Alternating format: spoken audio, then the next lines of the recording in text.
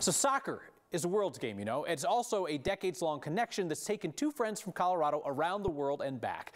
Back now from Qatar. Our Brian Wendland caught up with them. It's been called the best World Cup final ever. And while that's just an opinion,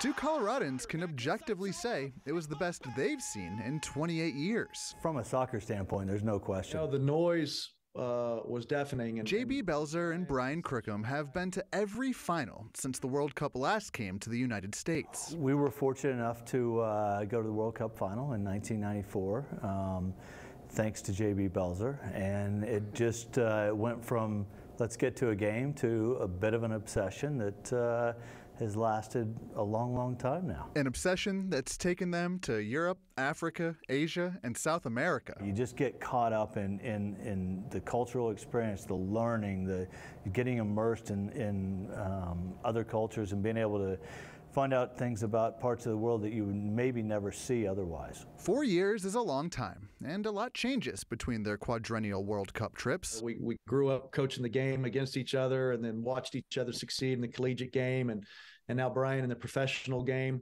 And it is that measuring stick. It's that inventory once every four years to gauge your progress. Plans are already in the works for their 2026 trip, and travel will be a bit easier with the World Cup coming back to the States. And for these two friends, a journey that started in 1994 isn't going to end anytime soon. I got a question then for Brian. Brian, how long are we going to do this?